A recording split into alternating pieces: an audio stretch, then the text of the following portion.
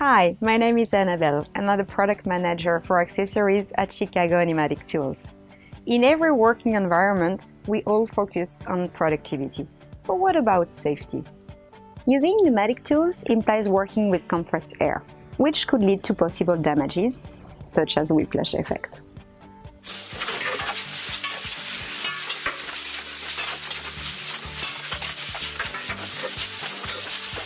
This happens where there is a failure in the air network. Most common reasons are accidental hose cuts or wrong accessories connections.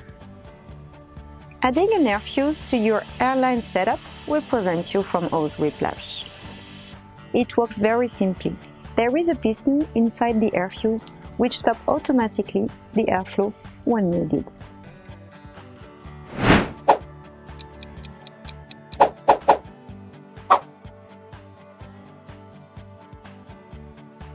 To be efficient, the air fuse should be placed at the hose entry and close to the FRL. To fix it, you need a hose connector on the right hand side and a coupling on the left hand side. There is also a direction to respect. Check the arrow on the air fuse or refer to the operating manual instructions. Last but not least, select the air fuse according to your tool maximum air consumption. You want to know more about airline? Visit our website and download our guides.